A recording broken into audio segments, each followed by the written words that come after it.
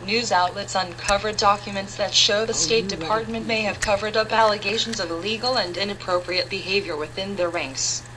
The Diplomatic Security Service, or the DSS, is the State Department's security force, charged with protecting the Secretary of State and U.S. ambassadors overseas and with investigating any cases of misconduct on the part of the 70,000 State Department employees worldwide.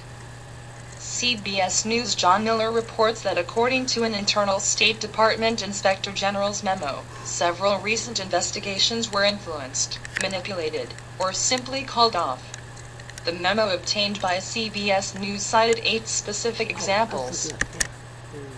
Among them, allegations that a State Department security official in Beirut engaged in sexual assaults on foreign nationals hired as embassy guards and the charge and that members of former Secretary of State Hillary Clinton's security detail engaged prostitutes while on official trips in foreign countries a problem the report says was endemic.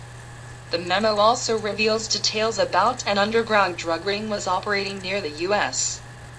Embassy in Baghdad and supplied State Department security contractors with drugs.